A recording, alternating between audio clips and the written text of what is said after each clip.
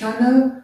Today I'm going to talk about how I found myself in Europe, so to say in Austria.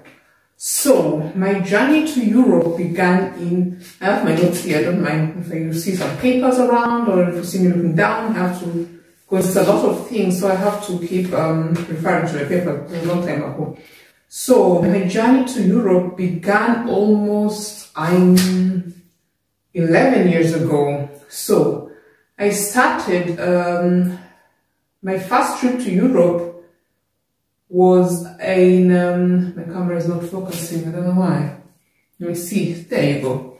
In um, June of 2012, I went to Belgium as an au pair for a year, June 2012 to June 2013.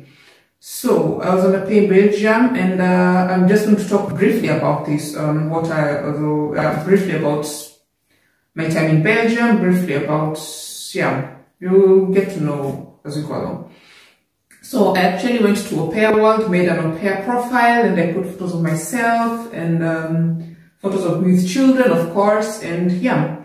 And after I can't really remember the age limit for Belgium because it was really a long time almost 10 years ago. Can you imagine that? So I can't remember really the age limit. So then, yeah, a nice family contacted me. There is a family of three boys. And then they sent me the contract, the health insurance, and the proof of accommodation. And they also sent me a plane ticket. They were nice enough to get me a plane ticket. So, and the salary there was almost 400 euros. So that was my first time in Europe. June 2012 June 2013. My first flight is another story for another day. That I have to make a whole new video about that. It was really traumatizing. Anyway, let's move on. So I stayed in Belgium until June of 2013 and then June until Aug around August, I may say, I was still in Belgium because, yeah, my visa was not yet, um, wie sagt man das, Mein Visum war noch nicht abgelaufen. Aha, my visa had not yet expired, so I could I stayed until August, and then I um, I flew back home. Before I flew back home, I had already applied to several institutions about um, um, if I could get a, a place in, in Deutschland, in Germany, in Germany, yeah. So um, I had sent about 50 applications and thank God I got one application, but it came too late and before I could um, clear my stuff uh, with the Belgian family and then uh, get a certificate of good conduct for the Belgian police, it was too late. So I had to fly back home in the middle of June. Uh, yeah, middle of, uh, rather in the middle of August. So I flew back home and I stayed, I was home in Kenya. I stayed in Kenya until, um, because already I already had a contract by, this, the, by an organization in Germany, um, FSJ, Freiwillige Soziales Jahr. Um, it's a social year, you do it for a year. The age limitation for FSJ is about, I think, um, 26 years old, if I'm not wrong. You can correct me if I'm wrong, but I think it's 26 years old for FSJ. For BFD, that's a, it's for older people, but I did do BFD, so I only did FSJ. So I stayed in Kenya until by the time I went to the German embassy for my visa interview. Um, I got, um, how is it called? Um, uh, yeah, my visa was approved in December of 2013. So, on December of 2013, happy me again, flight Germany, Germany that was in Hamburg. I was at a place called Stade. It's about um, 30, 20, 30 minutes away from Hamburg. So I was in Hamburg as an FSJ club for a whole year. And I'll say the FSJ is um, Freiwillige Soziales Jahr auf Deutsch. In English, it's a social year. Uh, yeah, social year. So the 80 meters Z was 26. I'm not sure you can correct me if I'm wrong.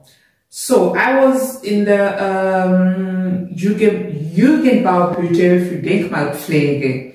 There are different places you can work work, I say, yeah. Uh, you can work with children, you can work at the hospital, you can work in, um, uh, with the Altersheim. How is, how is Altersheim called? Um.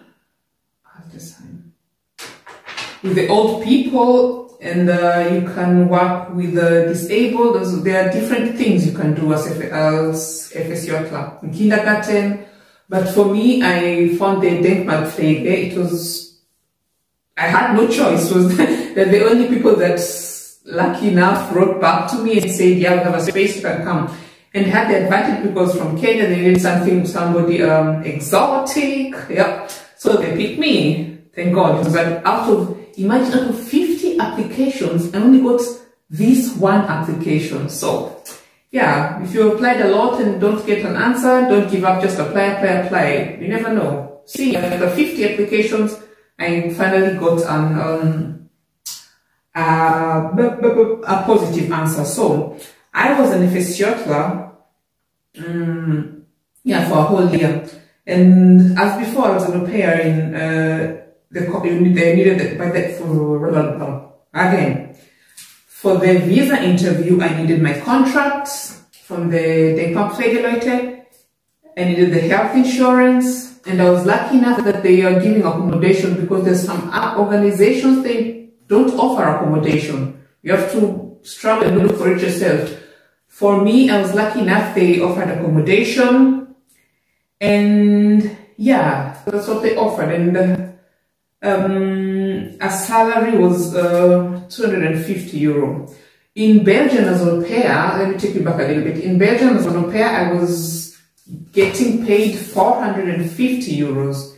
And now, a year later, in German as an FSJ, I'm only getting paid um, 250 euros. That's a difference of 200 euros. That's a lot of money.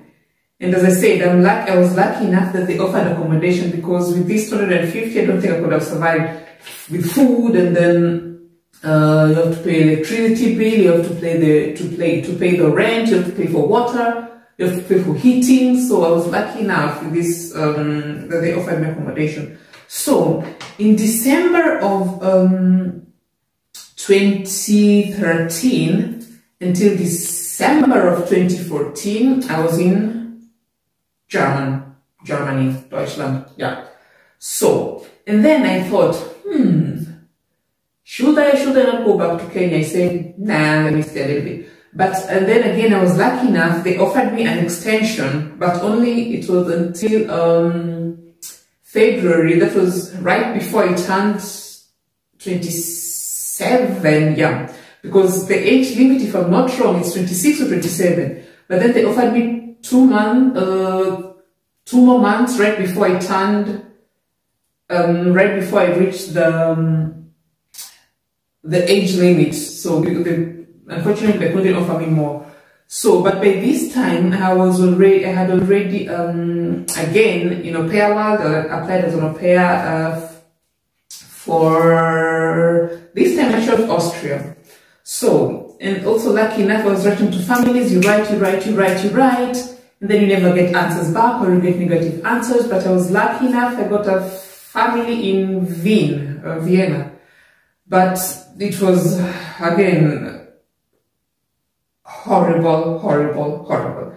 Again, that's a story for another video that I'm going to make a special video about that.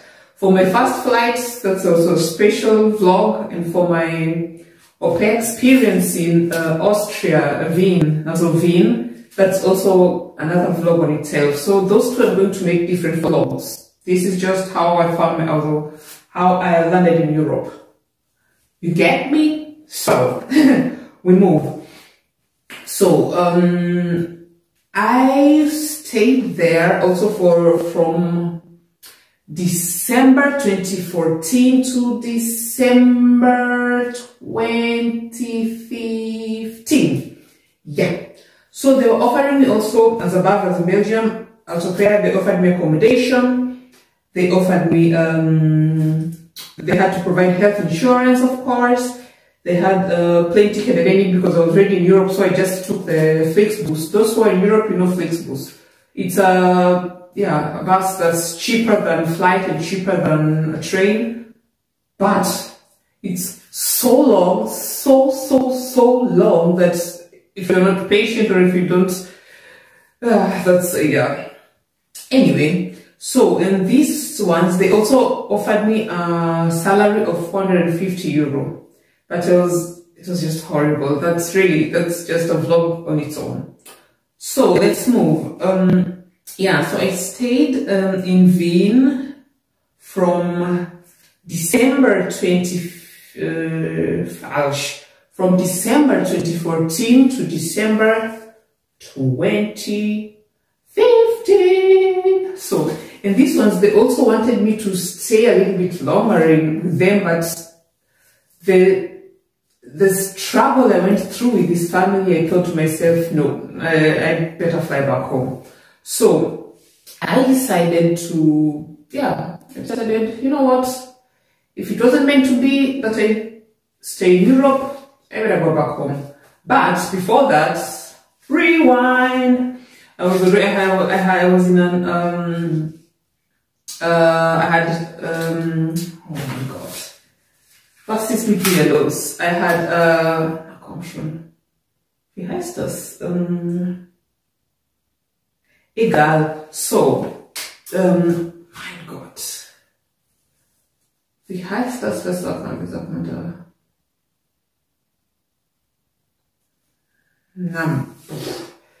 Oh, sorry, excuse me. So, um, I had um, registered myself in uh, online dating platforms and blah blah blah, yada yada.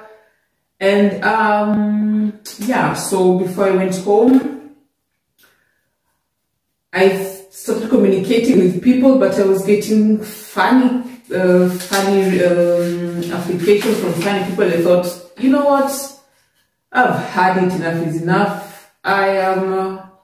Uh, I'm done. If it was not meant to be, I'm going home. But, ta ta ta ta ta ta.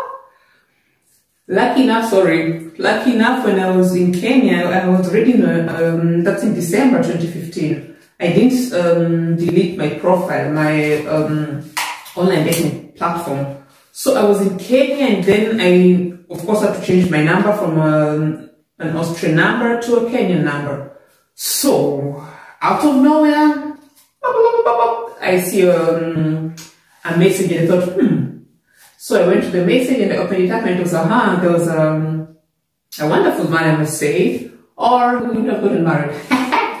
so um, I saw and we, um, yeah, he wrote me a message, I wrote him back, we exchanged um, numbers and um, started writing. And as they say, the rest is history. The rest is history. Got married. Mm, can you see? Let me see. Um, there you go. Yeah. Got married to a wonderful man and we were blessed with two kids. So that's my journey to Europe. And here I am. So please don't forget to like, share and subscribe. And if you have any questions, comment down below and I'll try my best to answer. I'll see you in my next video.